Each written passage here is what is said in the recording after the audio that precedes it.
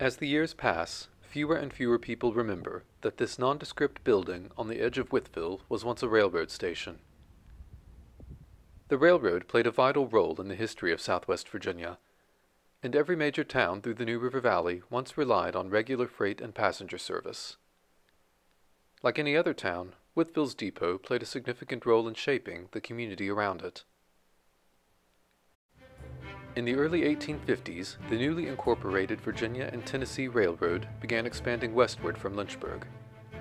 Blasting through mountainous terrain and laying rails with primitive hand tools was tedious. Most of this slow, backbreaking work was done by enslaved people rented by the railroad from slave owners. The necessity for bridges and tunnels drove construction costs as high as $3 million per mile in today's value, making this one of the most expensive railroad lines in the country. The tracks finally reached Wytheville on December 14, 1854. A grand celebration was held to welcome the first train to arrive in Wytheville four days later pulled by a little locomotive called Reindeer. Two years later, in 1856, a humble depot designed to handle both passenger and freight traffic was built on Railroad Avenue, where the tracks passed closest to town. The arrival of the railroad was an instant shot of adrenaline to Southwest Virginia's sleepy economy. A journey across the Commonwealth that once took days or weeks could now be achieved in a matter of hours. The population began to grow, lead and salt mines were able to transport raw materials to industrial centers. Farmers were able to transport larger quantities of produce and livestock to a broader market more quickly than ever before. Stock drives from as far away as Tazewell became common sights on the road to the depot in Wytheville. Tobacco production in southwest Virginia alone consequently increased more than 2,000% between 1850 and 1860. The railroad in return also brought manufactured goods from industrial centers in the north and the east. Telegraph lines were erected beside the track by the Lynchburg and Abingdon Telegraph Company. They made depots in once isolated communities like Wytheville epicenters of swift communication with the world beyond the mountains. Political alignments too were shifted by the arrival of the Iron Horse. The cultural divide between the wealthier and more populous eastern Virginia and the more sparsely populated counties in western Virginia had been growing for years, fueling a growing movement for secession. One newspaper speculated that the railroad would connect those in western Virginia with the rest of the state, and in all time to come they will be neighbors, be one people, having a common hope, a common interest, a common destiny. The economic benefits the railroad brought to southwest Virginia did manage to mitigate the Commonwealth's growing geopolitical rift, for a while. The optimism of newspaper reporters, much like today, would prove somewhat less than prophetic.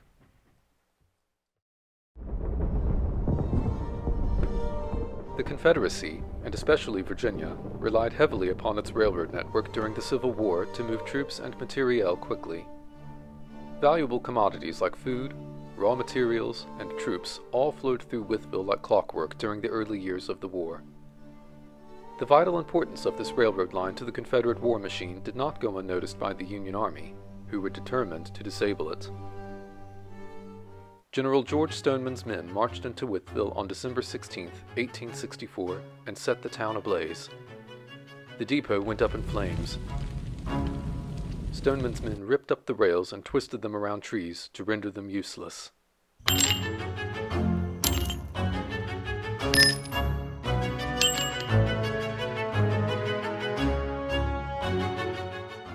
Years of raids and deferred maintenance wrought havoc on the Virginia and Tennessee Railroad.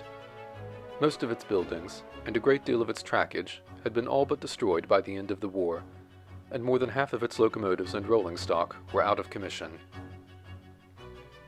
Soon after the war's end, rail traffic in southwest Virginia was back up and running by July 1865, although work on rebuilding the depot in Wytheville would not begin until the summer of 1872. The railroad, which was now the Atlantic, Mississippi, and Ohio, was rebuilding depots on the Bristol branch in the Italianate style, with broad eaves and characteristic towers. Instead of a frame building sheathed in wood, the town fathers in Wytheville wanted a more stately depot constructed of brick. The railroad ultimately agreed to order a brick depot, although in the construction contract they stipulated that they would only contribute $6,000 toward its construction. When the final bill overran that figure by more than $1,000, the railroad held firm and refused to pay the difference. One of Wytheville's founding fathers, Colonel Thomas Boyd, provided the contractors with cash and two parcels of land to settle the bill. The new depot opened to the public on December 10, 1873. Photographs and insurance maps indicate that the building, with its distinctive tower, appeared similar to the Cambria freight station in Christiansburg.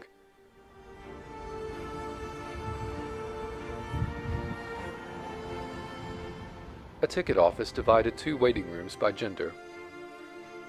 The interior was decorated with pine floors and walnut wainscoting, brick fireplaces, lavatories with marble washstands, and an elaborate ticket counter with walnut brackets. In the years after the Civil War, the railroad supported a seasonal tourism industry in Wytheville and other towns throughout the New River Valley. People from the deep south and the coastal lowlands seeking reprieve from the oppressive heat would spend weeks and months at a time in Wytheville.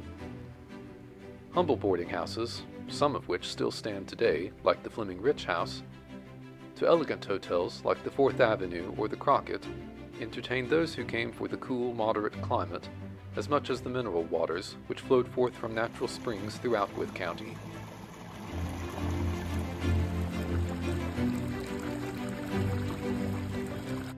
Despite their relative comfort, passenger trains in southwest Virginia would not offer dining cars until at least 1904.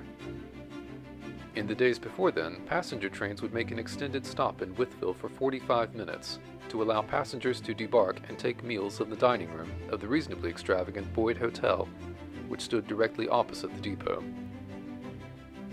Comparably elegant, although situated more than a dozen blocks away on Main Street, Fourth Avenue provided a horse-drawn omnibus to convey its guests to and from the depot. Seven trains a day were calling in Wytheville during the off-season, and nearly twice as many during the summer season. Several of these were mail trains contracted by the federal government to carry U.S. mail. As the fastest and most reliable means of transportation in the late 19th century, trains were ideal for moving the country's mail, Railroads designed rolling post offices dedicated especially for the purpose of sorting and processing mail on the move. When the mail train passed through town, incoming and outgoing mail was exchanged, sometimes without stopping.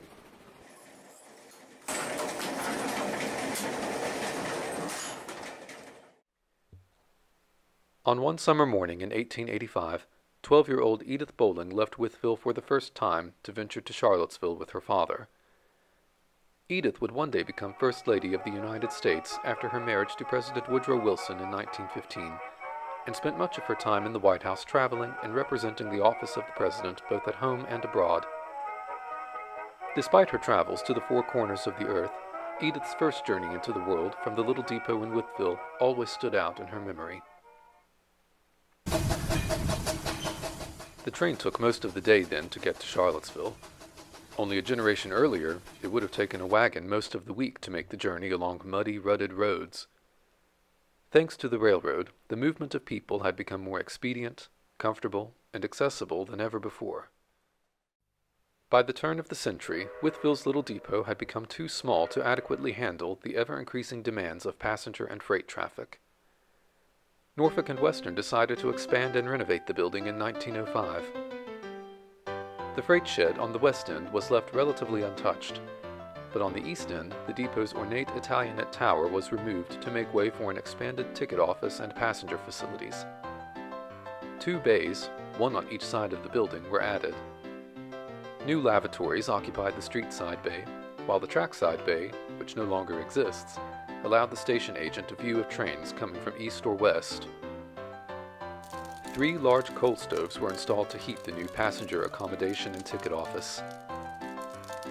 Most of the depot's best-known images date from around the time that the addition was completed, when its distinctive slate-roofed, bracketed canopy was added around the new east end. The depot was once again expanded in 1916. Virginia's Jim Crow laws required Norfolk and Western segregate their passenger facilities by race. To accommodate this, the old baggage room was converted into a waiting room for people of color. An additional bay was constructed on the west end of the depot to compensate for the subsequent loss of space in the freight room. The mismatched hue of the masonry work on the west end of the building still bears evidence of this subtle change from the Jim Crow age. An iron umbrella shed was also added during the 1916 refit and is visible in a number of period images. Business boomed around the depot throughout the 1920s and 30s. During those years, the platform was lengthened to accommodate longer trains.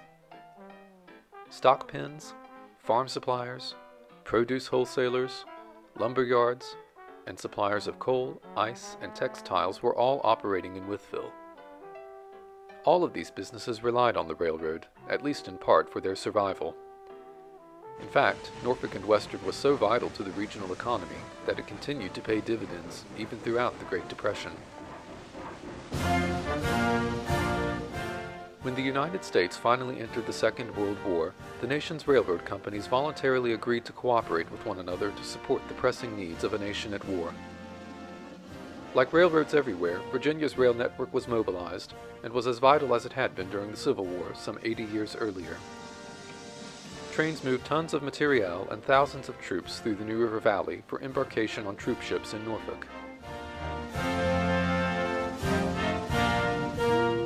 Freight tonnage on the network nearly doubled, and in 1943 alone, Norfolk and Western generated $84 million in today's currency from civilians and military personnel across its network, five times the amount of revenue paying passenger traffic just a few years earlier in 1939. Small town depots like Wytheville's were where numerous fathers and sons left for war, and they were also the site of reunions when the railroad brought them home. In 1949, Norfolk and Western refurbished Wytheville's aging depot. The bracketed canopy around the ticket office and waiting rooms was removed, the facade of which was also refaced and fitted with new aluminum windows. Inside, the agent's office and passenger accommodations were completely remodeled,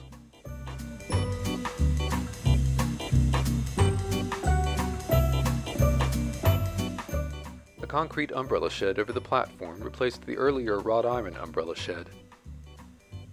From the east end, both inside and out, the depot had practically come to resemble an entirely new and modern building.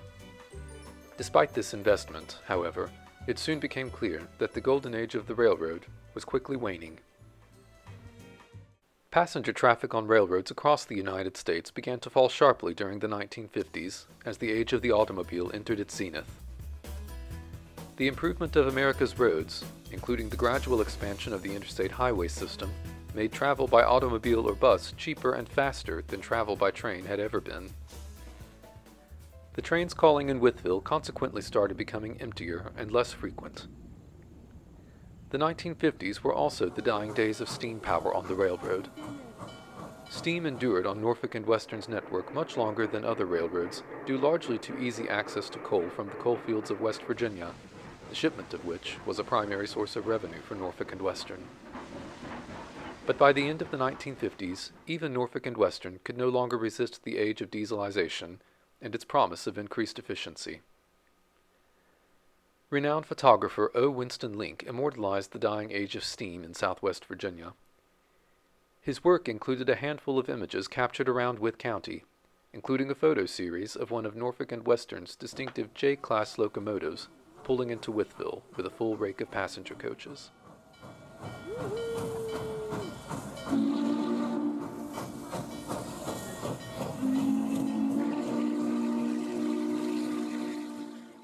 On Christmas Eve, 1957, O. Winston Link photographed the arrival of the westbound Birmingham Special arriving in nearby Rural Retreat that same night, he also made a sound recording of the eastbound Pelican arriving in Rural Retreat on its way to Washington, D.C.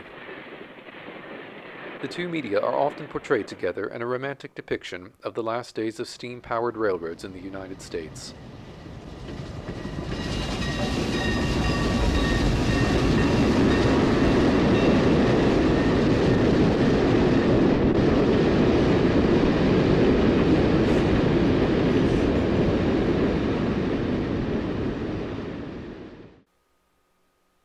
Photographs in Link's collection, taken at Wytheville's depot a couple of weeks later, suggest that a similar sound recording may also have been made in Wytheville, although it is not clear if any such recording survives anywhere in Link's extensive work. Passenger traffic had never been a significant source of profit for Norfolk and Western. Even during its busiest years, passenger trains never contributed any more than 3% to the company's total profit. As ticket sales continued to fall through the 1960s, passenger service stopped padding the bottom line altogether. By 1971, passenger service in Southwest Virginia had been cut down to just one train a day, whose capacity was still surplus to requirements, and whose operation had become a financial loss. Norfolk and Western could no longer justify operating passenger service on the Bristol branch, and Amtrak, who was set to assume control of the company's other passenger services on May 1st of that year, also agreed that the line was simply no longer profitable. Southwest Virginia's last regularly scheduled passenger train ran on April 30, 1971, and with it, service between Lynchburg and Bristol finally drew to a close. With reliable and expedient rail connections drying up, so too ended the Postal Service's contract with the railroad, who by this time found it more efficient to move mail by road and air. A freight agent continued to operate out of the old depot in Wytheville until a teenager broke into the building and started a fire in 1975.